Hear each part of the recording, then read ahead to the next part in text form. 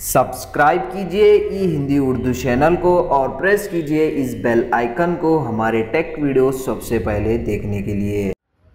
Hello दोस्तों, ई Hindi Urdu channel में आप सभी का स्वागत है दोस्तों। आज के इस वीडियो में मैं आपको बताने वाला हूँ, आपके एंड्रॉयड डिवाइस में गूगल क्रोम ब्राउज़र में जो है दोस्तों send to your device notification popup को कैसे डिसेबल करते हैं, इस वीडियो में हम यही सीखने वाले हैं। तो इन शॉर्ट मैं आपको बता दूँ सेंड टू डिवाइस नोटिफिकेशन आपको कब कब मिलता है। अगर दोस्तों आपका एंड्रॉयड डिवाइस आप अपने पी से गूगल क्रोम ब्राउज़र जो सिंक किया है तो जब जो है दोस्तों आपको इस तरह के नोटिफिकेशन मिलते हैं, अगर आप इसको जो है दोस्तों डिसेबल करना चाह रहे हैं तो जैसे कि आप यहाँ पे देख सकते हैं दोस्तों, ये जो नोटिफिकेशन है बहुत इरीटेट करता है तो हम इसको जो है दोस्तों अभी डिसेबल कर लेते हैं। तो सबसे पहले आप अपने एंड्रॉइड डिवाइस में गूगल क्रोम ब्राउज़र ओपन कीजिए। गूगल क्रोम ब्राउज़र ओपन करने के बाद टॉप राइट साइड में थ्री डॉट देख सकते हैं, उस पर क्लिक कीजिए, यहाँ से जो है सेटिंग्स को ओपन कीजिए।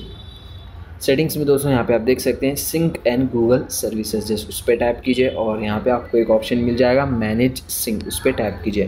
तो सबसे पहले आपको क्या करना है? सिंक एवरीथिंग इसको जो है दोस्तों डिसेबल कर लेना है। करने के बाद दोस्तों ओपन टैप्स का एक ऑप्शन मिल जाएगा आपको।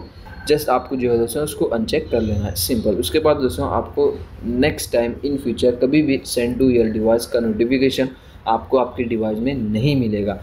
तो ये एक इजी और सिंपल मेथड है दोस्तों। सेम इशू मैं भी बहुत दिनों से फेस कर रहा था। फाइनली मुझको जो है इसका सोल्यूशन मिल गया। तो इस तरीके से send to your device notification को डिसेबल कर सकते हैं आपके डिवाइस में। उम्मीद करता हूँ आपको शॉर्ट सा सिंपल सा वीडियो पसंद आ गया हो। अगर आ गया हो तो लाइक कीजिए शेयर कीजिए सब्सक्राइब कीजिए। क्योंकि दोस्तों इसी तरह के डेली वीडियोज़ हम आपके लिए लेके आते रहते हैं। मिलते हैं नेक्स्ट वीडियो में। Thank you